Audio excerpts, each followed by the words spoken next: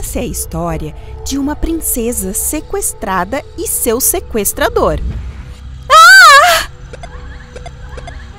Mas desta vez, quem era a princesa? Eu que sou a princesa. Ah, a princesa era um cara. Então quem foi o seu sequestrador? Eu sou o Bowser, mas eu não sou sequestrador. Como seus gêneros poderiam ser assim? Inscreva-se na OA Fairy Tales para explorar mais. Não havia praticamente nenhuma princesa no mundo tão desagradável quanto a princesa Peach, a princesa do Reino dos Cogumelos. Ela era arrogante, vaidosa, teimosa e difícil de lidar. Ninguém poderia comparar. Então Peach enfrentou consequências devido à sua personalidade. Desejando a coroa mágica, ela ofendeu uma fada-chefe e caiu sobre uma terrível maldição. Se você ama tanto esta coroa, vamos grudá-la na sua cabeça. Enquanto estiver aí, nenhum homem vai te amar. Eu não acredito. Mas Peach teve que acreditar quando a maldição começou a fazer efeito. Por respeito ao rei, pai da princesa, a fada-chefe ofereceu uma maneira de quebrar a maldição. A maldição será quebrada quando eu conhecer um herói gentil que me aceite e me ame? Se falamos de heróis, não há ninguém mais famoso agora do que o Mario. Sua fama era lendária, fazendo desmaiar corações de jovens. Mas conhecer o Mario é desafiador. Eu ouvi dizer que é preciso agendar com um ano de antecedência para conhecer. Não se preocupe, pai. Deixa que eu cuido disso. Naquele momento, o único que ousou sequestrar Peach foi Bowser, o rei da tribo Koopa, um suposto vilão tolo. Ultimamente, ele estava preocupado com suas tartarugas doentes rolando e deitando de costas.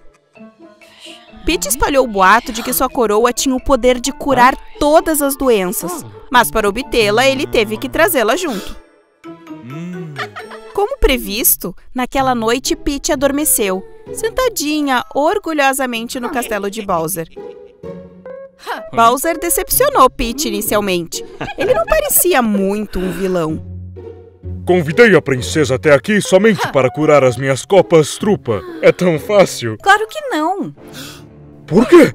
Por que não? Escuta, tudo que eu falei era mentira. E você caiu nessa, tolo. Minha coroa? Você nem pensa em tocá-la.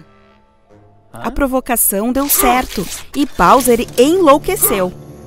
Não se atreva a me desafiar! Toque! Ah! Esse acontecimento horrível transformou a outrora bela e arrogante Peach em um homem de verdade. Em contraste, o rude Bowser se transformou em uma senhorita encantadora e cativante.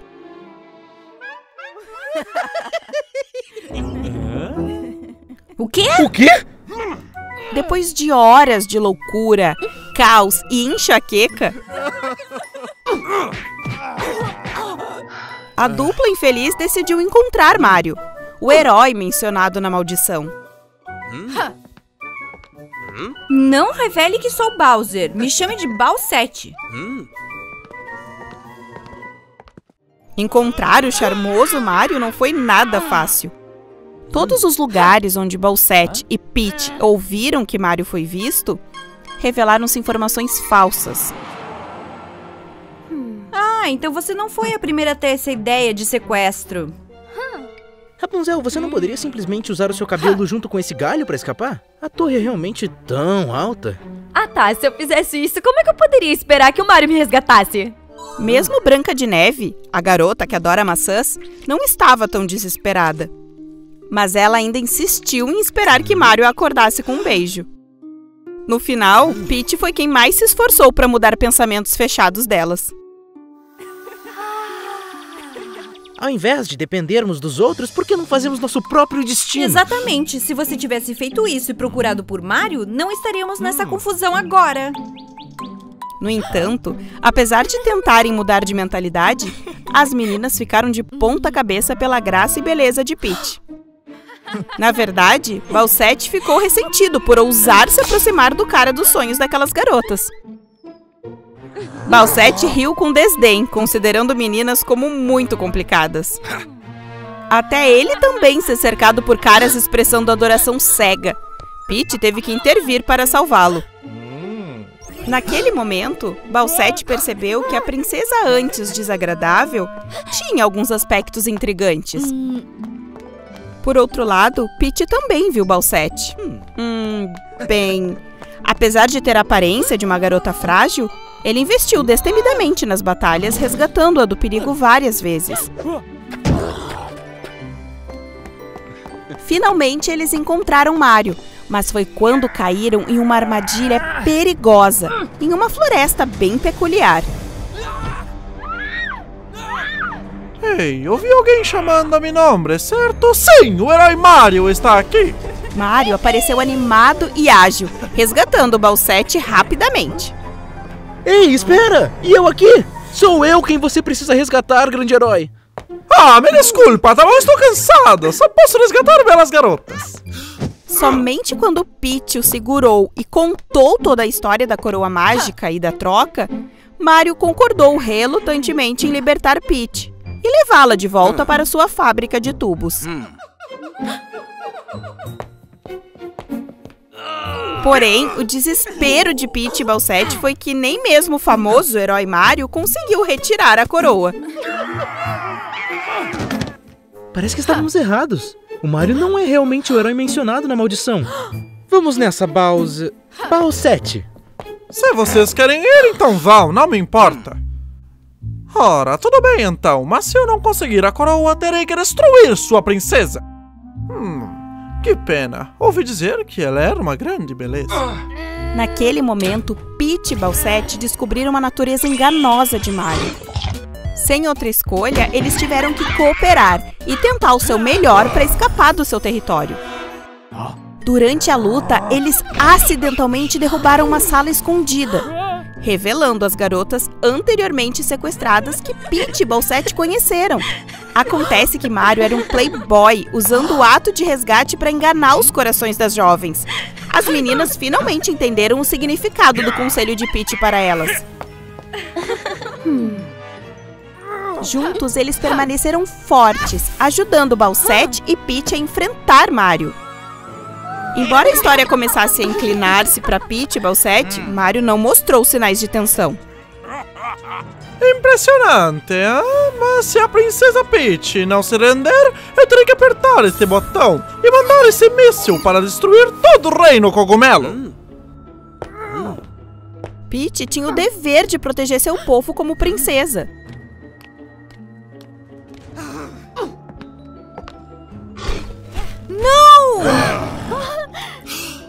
Perdoe-os e eu ouvirei suas demandas obedientemente. Bom, mesmo sem essas imitações falsas, elas são inúteis de qualquer maneira. Hum, mas você deve desistir de todas as suas invenções. Quem sabe o que aconteceria se você mudar tudo de novo? Porém, Mario não sabia que Peach ainda tinha um item final: o Super Cogumelo Veloz. Graças ao Super Cogumelo Veloz, Peach correu como uma tempestade em direção a Mario, arrancando-lhe o controle remoto. Sem querer, durante a luta, acidentalmente o controle é pressionado, ativando o míssil. Naquele momento crítico, Balsete correu bravamente para parar o míssil, mas isso não mudou o resultado. Diante do perigo, Balsete mordeu os lábios dela e removeu o casco de tartaruga dela. Continha todo o seu poder, a capacidade de ampliar e envolver tudo. Felizmente, o casco da tartaruga forneceu alguma proteção e a explosão do míssil não foi muito devastadora. Conseguimos! Nós escapamos! Balsete é incrível! No entanto, eles não puderam comemorar por muito tempo, pois sem o casco da tartaruga, Balsete não poderia existir. O que tá acontecendo? Isso não pode ser assim, Balsete. E foi então que, pela primeira vez nas suas longas jornadas, eles não brigaram mais. Você foi ótima. Sinto muito. Não posso continuar acompanhando você.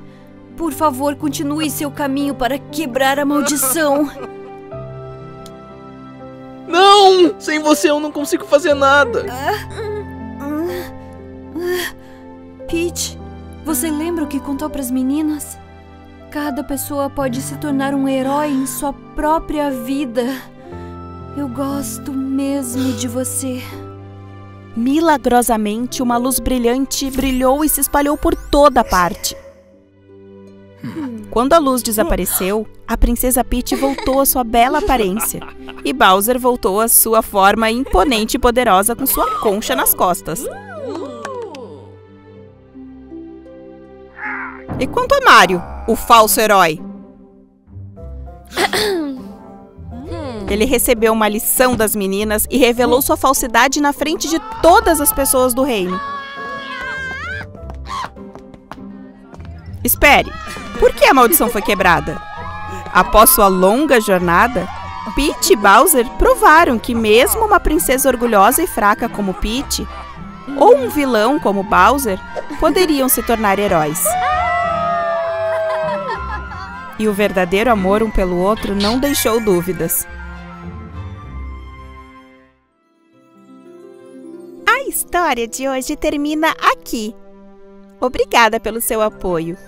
Cada visualização é um grande incentivo para criarmos histórias mais emocionantes. Não se esqueça de se inscrever no OA Fairy Tales para nos ajudar a alcançar um milhão de assinantes em breve. Agora, compartilhe suas emoções com OA Fairy Tales sobre a história de hoje. Se houver um dia em que ninguém possa mentir nesse mundo, exceto você, o que você fará? A pobre menina Kari, que vivia com sua mãe solteira em uma casa de ruínas, é quem mais tarde possuirá a habilidade especial.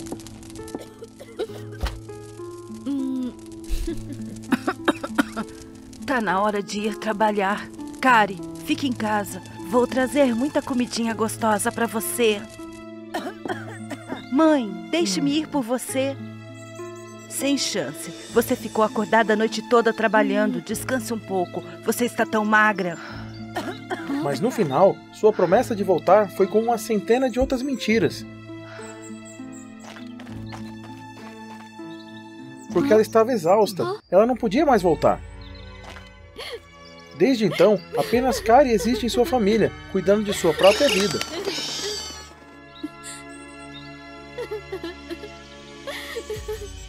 Mãe, você é uma mentirosa. Por que você sempre mente pra mim assim? Kari, você está com fome? O arroz está acabando. Vamos, é só ir pra cama que o seu estômago vai parar de ficar com fome. Kari, seu pai é tão rico que logo virá buscá-la. Eu voltarei em breve. Nunca mais eu vou acreditar em nada. Um dia, Kari se deparou com um grupo de caçadores atormentando um cervo. Apesar do risco, ela tentou libertar o pobre animal.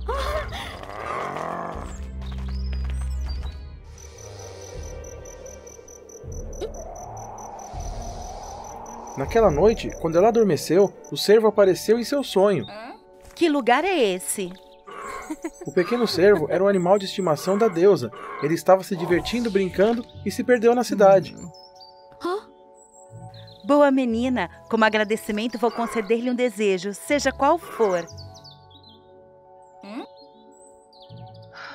Espero que nesse mundo nunca mais tenha mentiras. Na manhã seguinte, quando o cara acordou, tudo parecia normal. Que sonho estranho. No entanto, quando ela abriu a porta e desceu a rua, tudo estava estranho. Oh, como é feio seu vestido! Você pegou da sua avó? Não, acabei de roubar e não lavei. Ops. Tenho que ver sua cara feia de novo.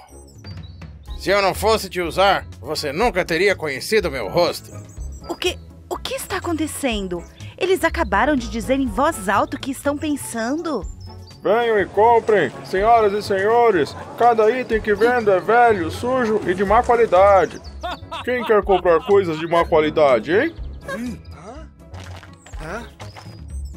O comerciante furioso então jogou as coisas de uma barraca para outra para afastar o cliente honesto.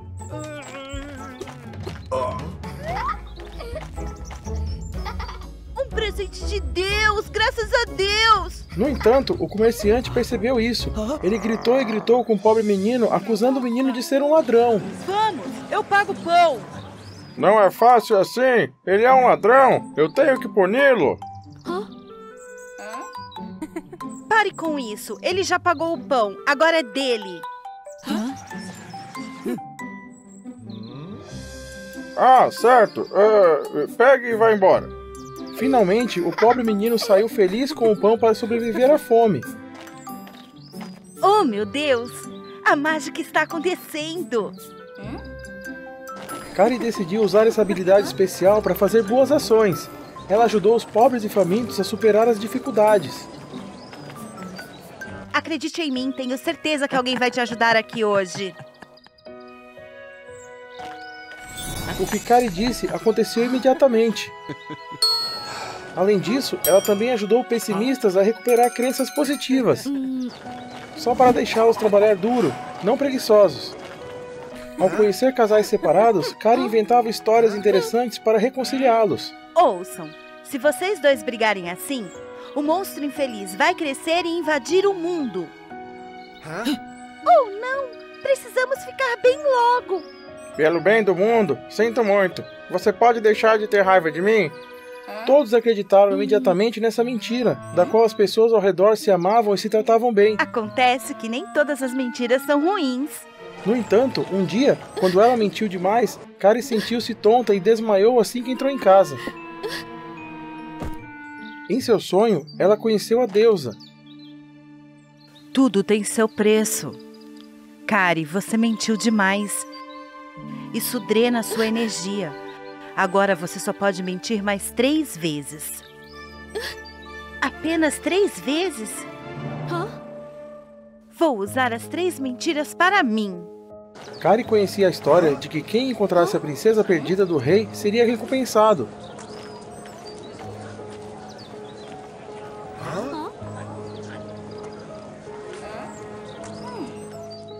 Então ela foi ao palácio e contou a maior mentira de sua vida.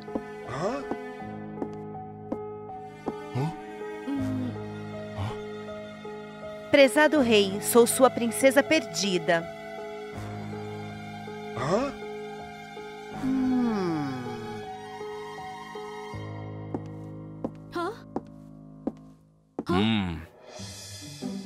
Dia seguinte, Kari mudou oficialmente sua vida, tornando-se a única e mais amada princesa do rei. Ela viveu uma vida com a qual nunca sonhou.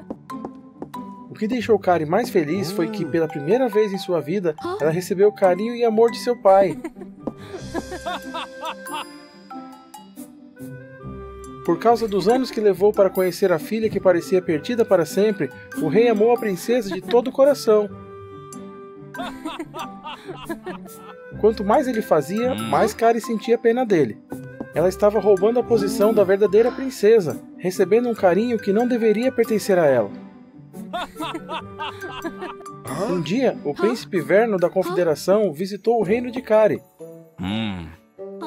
Ela deve tê-lo amado à primeira vista.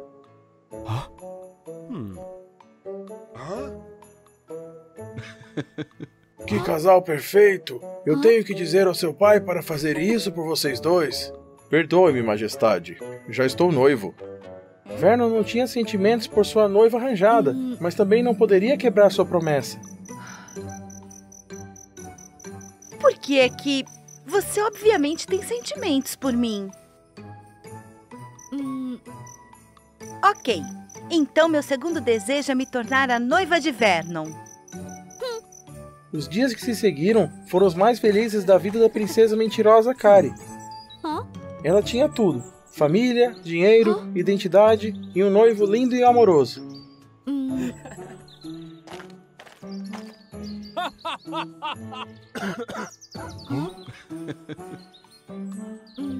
A paz não durou muito. O rei recebeu um relatório de que um monstro terrível havia aparecido. Por onde passava, o monstro atraía a alma dos vivos. Chamava-se Monstro Infeliz, que era feito do medo de se apaixonar, com a determinação de tornar este mundo sem alma.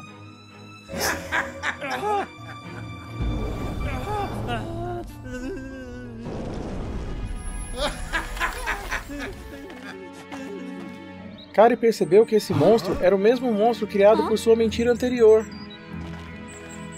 Acontece que tudo o que ela disse era verdade. Não é que as pessoas acreditem em mentiras. Todos os melhores e mais brilhantes guerreiros do reino foram enviados para destruir o monstro. Príncipe Vernon corajosamente deu um passo à frente, apoiando o reino. Não! Você não pode! É muito perigoso! O monstro está chegando!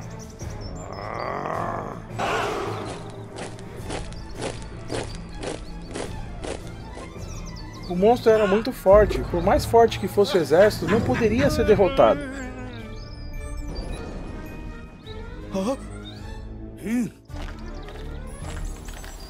Vernon não foi exceção.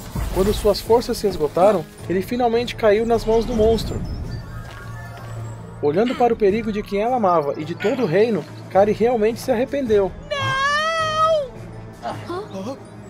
Kari, porra, você tem que viver bem.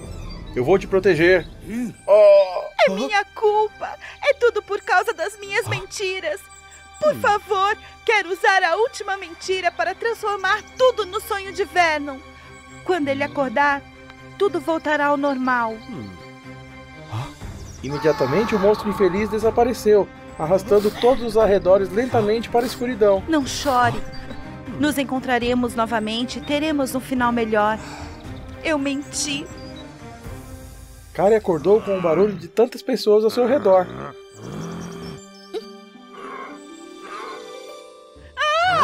Então, por salvar o pequeno cervo, ela estava com medo de perder a consciência. Os caçadores viram Kari acordada gritando, exigindo que ela devolvesse o cervo. Deixe-a em paz. Esse dinheiro é suficiente?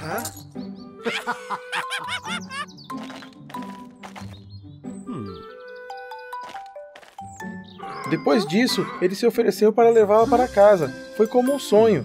Kari não podia acreditar. Eu sou apenas um cavaleiro. Eu fui contra a decisão da minha família de vir para este reino. Você é muito corajosa e gentil. Posso ter a chance de encontrá-la? Kari ainda não conseguia se adaptar a tudo. De repente, ela foi esbarrada por uma pessoa que caminhava na estrada. Marca de nascença? A marca de nascença! Oh meu Deus, você realmente é minha filha! Por quê? Por que isso? Kari é a verdadeira princesa do rei. Por isso ela usou apenas duas mentiras. Então as palavras que eles se encontraram novamente e ter um final feliz se tornaram realidade. Lembre-se de voltar cedo e não os perturbe. A princesa Aurora do Castelo do Sul finalmente acordou. O sino tocou nove vezes, dissipando a umidade e a selvageria das vinhas depois de centenas de anos. Eles se transformaram em milhares de flores perfumadas e borboletas coloridas. Mas a linda princesa não estava mais aqui. Em vez disso, havia um zumbi feio e extremamente assustador. Não! Por quê? Por que isso? O que eu me tornei? Aurora, você tem que se acalmar. Princesa, estou chegando! Algo deve ter dado errado. Seu verdadeiro amor, o príncipe Felipe, te acordou. Depois que a Aurora teve problemas, o rei e a rainha faleceram porque estavam tão devastados e misericordiosos. Por mais de 200 anos, o reino não teve mais príncipe ou princesa. Enquanto isso, o sangue real nesse reino é considerado sortudo, o que fará o reino florescer livre de doenças e tristezas. O país inteiro esperava ansiosamente para ver a princesa e também o casamento do século com o príncipe que a salvou. Há um riacho. No mito, quando as pessoas se banham nele, eles podem reviver uma vez. Embora seja difícil de encontrar, enquanto houver esperança, você deve tentar. A fada madrinha usou magia para restaurar temporariamente a aparência de Aurora, então saiu apressadamente. Príncipe Felipe admirou a beleza de Aurora e correu para pedi-la em casamento. Eu. Me desculpe, eu não estou pronta para isso.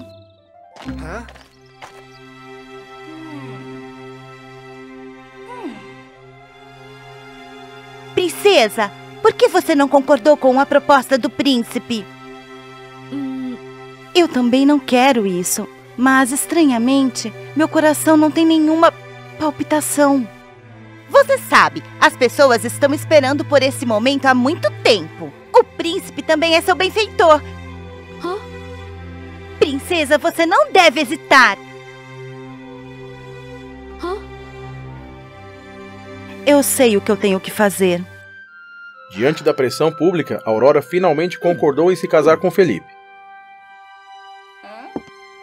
Todo o país estava preparado com os preparativos para o casamento, exceto a princesa que parecia definhar a cada dia.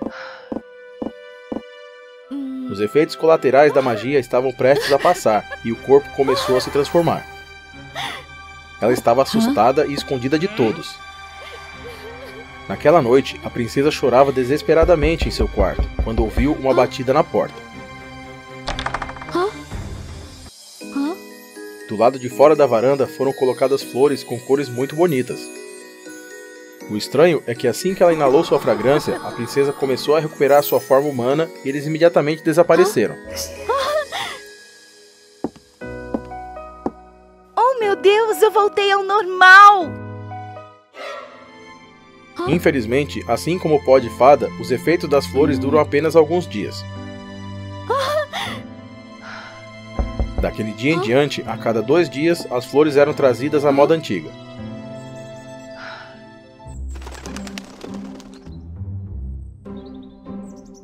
Aurora observa com curiosidade ao ver o corvo que salvou antes de cair o sono eterno.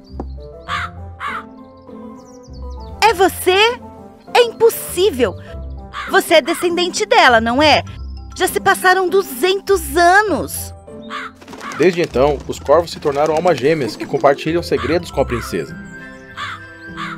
Se você pudesse falar, eu saberia de onde vieram as flores.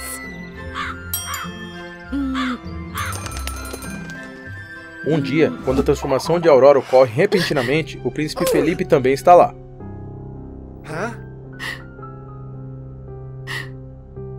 Ele ficou com medo e imediatamente a trancou.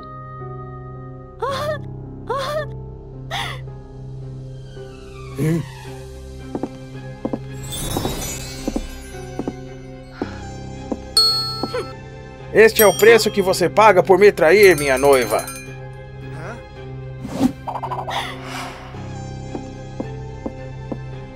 Eu não fiz nada errado. Quando eu acordei do sono, eu estava assim. Vou fingir que não sei de nada se o casamento ainda vai acontecer. Por quê? O que você está tramando? Você não tem o direito de duvidar de mim se ainda deseja colocar seus olhos nele. Além disso, se você não concordar, anunciarei a todo o reino o que aconteceu com sua linda princesa. Aurora não teve escolha a não ser concordar com a ameaça de Felipe. No dia do casamento, Aurora não esperava que Felipe a fizesse parecer um zumbi.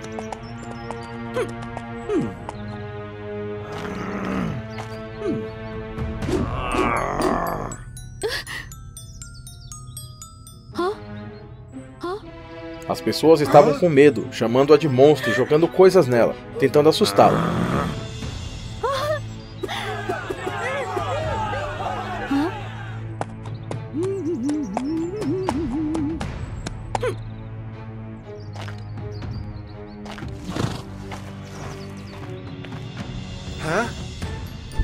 Nesse momento, apareceu um homem monstruoso com asas pretas, agarrando a princesa. Meio homem, meio corvo! É o Hal! Ele é o filho da Malévola!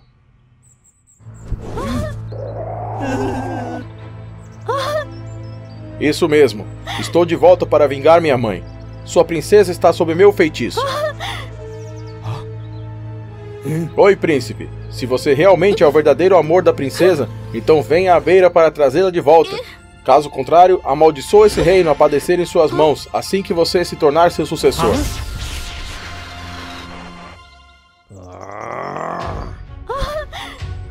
O príncipe correu para persegui-los, tanto para provar que era digno de herdar o país, quanto para planejar a destruição de Hal e Aurora.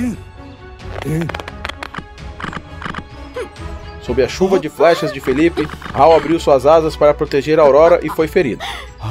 Finalmente, ele estava exausto, abraçando a princesa que caiu no penhasco. No fundo do abismo há um lago profundo, cercado por flores brilhantes do arco-íris.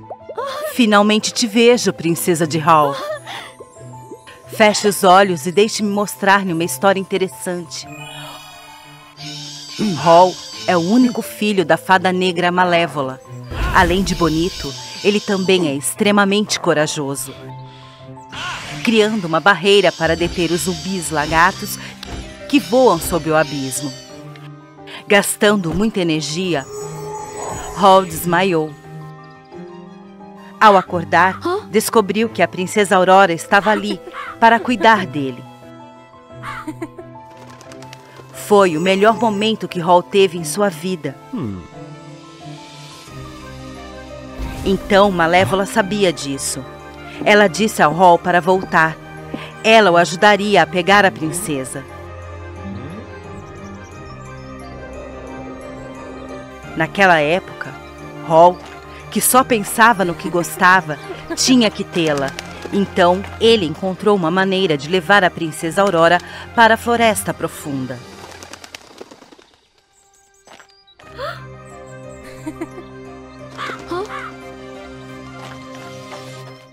Talvez Malévola guardasse rancor do rei e da rainha, mas, como ela foi proibida de entrar no reino, não poderia se vingar.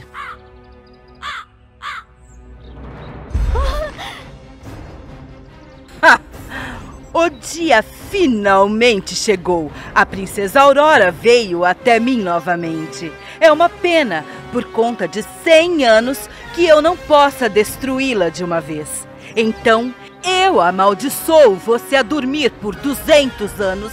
E quando você acordar, você está condenada. O padrinho Fada e o exército real perseguido acabou. Ela só usou o poder para selar Malévola e reduzir a maldição para a Aurora dormir. Mas acordar quando houver amor verdadeiro.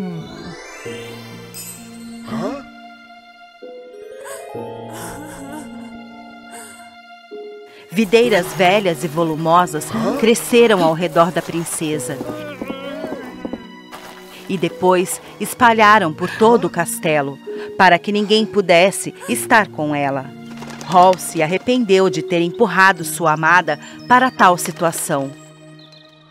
Se arrependeu de entrar, ficar ao lado da princesa, procurá-la para dormir.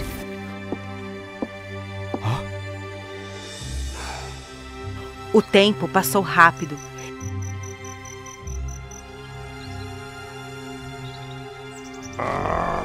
E todos os esforços de Hall para acordar a princesa foram em vão. Já se passaram 100 anos, e se você não acordar, eu sei o que fazer. Só existe uma maneira de transformá-la em zumbi para prolongar sua vida. Mas isso é realmente a coisa certa a fazer? Confie em mim, vou encontrar uma maneira de restaurar sua aparência original.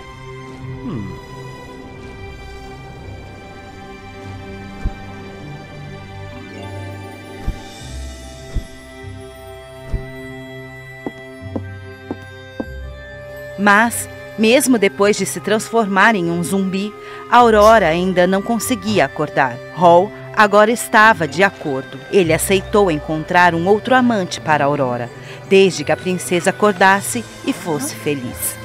No entanto, o príncipe também achou difícil recuar quando eles apareceram.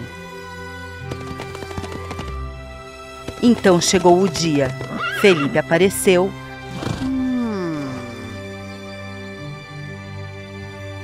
A princesa acordou.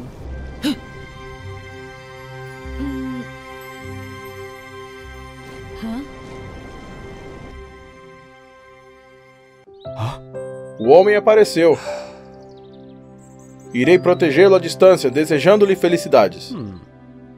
Ele não sabia que foi seu amor que acordou a Aurora. A princesa ficara feliz, mas então Hall ouviu o choro. Sabendo que a princesa começou a se transformar em um zumbi. Ele arriscou sua vida para descer ao abismo para encontrar o antídoto. Hall trocou 100 anos de cultivo por uma das minhas flores. Ele tinha apenas mil anos de cultivo. As flores que ele trouxe para a princesa já consumiram a maior parte delas. E Hall é apenas um fraco agora.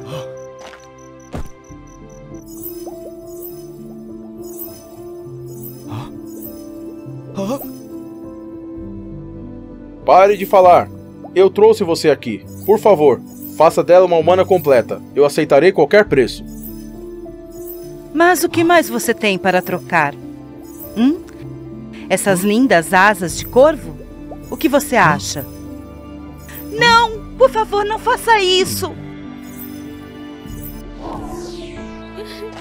O milagre aconteceu. Hal trouxe a linda princesa para a praia, só que as asas não existiam mais. Deusa, por favor, devolva as asas e o poder mágico para Hall. Serei um zumbi pelo resto da minha vida. Ouça, Aurora. Seu reino ainda precisa de você. Se não voltar agora, ficará sem comando. Você quer que seu povo caia nas mãos de alguém tão perverso quanto Felipe? Eu lhe disse antes que você foi amaldiçoada por mim, e agora que voltou à forma humana, eles aceitarão de bom grado. De repente, o som soou, sinalizando que os pássaros zumbis que guardavam o abismo estavam prestes a acordar. Subiremos correndo o caminho e sairemos do vale. No entanto, a apenas alguns passos da beira do penhasco, Aurora escorregou devido ao seu descuido. Mesmo que os zumbis tenham chegado ao local, Hal ainda está determinado a usar um pouco de força para proteger as pessoas que mais ama. Além de se transformar em um zumbi de pleno direito, Hal foi capaz de levar a princesa embora com segurança. Lágrimas quentes caíram do rosto triste da princesa.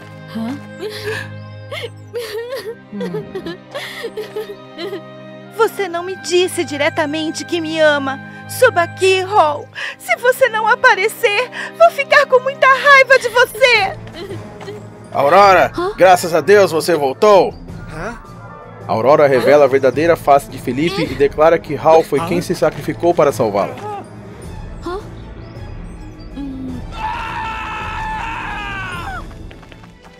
Ela subiu ao trono, tornou-se uma rainha poderosa, fez a vida das pessoas felizes. Mas só a rainha sabe o quanto seu coração ainda dói. Logo depois, a fada madrinha voltou, trazendo consigo as mesmas flores do arco-íris que Hal havia trazido.